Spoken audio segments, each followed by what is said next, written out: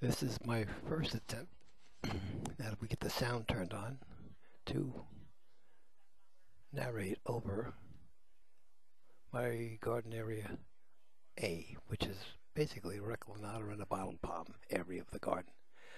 This was what the area looked like back many years ago, and this is what the area looks like in the last couple of weeks.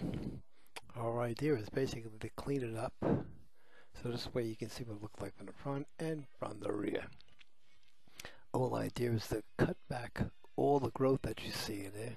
And I mean cut back all the growth so this way I can get down to the nitty gritty so I can cut all these little new shoots on the bottom. And to get it clean, uh, not just going to look like the bottle palm here, but it will be clean. And this is the area from behind. I have lined up with little small uh, 8 inch by 8 inch uh, little stones, or 6 inch more or less to say and that's what it looks like with mulch. And uh, same idea is to keep it clean and prevent weeds from going. And that's what it looks like from looking at it through the back. But now we'll get into the serious part of it this is weeds. I pull them out. When I pull out the weeds I pull out everything that goes with it. I use a, a gloves in my hand to try and avoid getting bitten and picking up all the stuff. I usually get a splinter anyway with the gloves. And I'll eventually scrape it down to the bare dirt, pulling all the weeds out, even getting as close as possible, and I end up with a pile like this. And what I do is transport it to an area in the back of the uh, side of the, basically on the side of the house where I have all the soil, and I pile it like I do here. This dirt pile I sift later on to reclaim mulch and other goodies. But getting back to this, I get down all the way down. Uh, I try and clear as much as possible because all these little green things you see, I'd like to cut them right down as, as close as possible because there is still some growth in them. But this is the front, no, excuse me, that was the back again. But here's uh, one particular leaf frond area.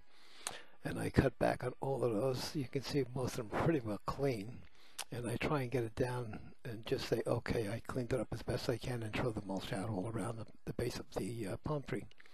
It looks good for a couple of weeks, and I uh, basically, if I see any large weeds growing, I just pull them out. And this is what it looks like as we're getting towards the end of cleaning it up.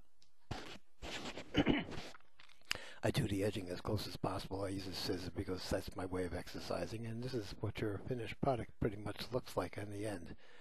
Uh, pretty clean palm tree. Uh, it'll get away from you like it was prior to this because uh, well, new shoots will come up anywhere. It's a clustering palm. Shoots will come up anywhere, whereas a clustering palm will come up. And now you can see it, what it looks like all cleaned out. And as you can see, my patio stones are all cleaned out too. But that's uh, what we do at the Dougherty Garden. We take each section at a time and clean it up.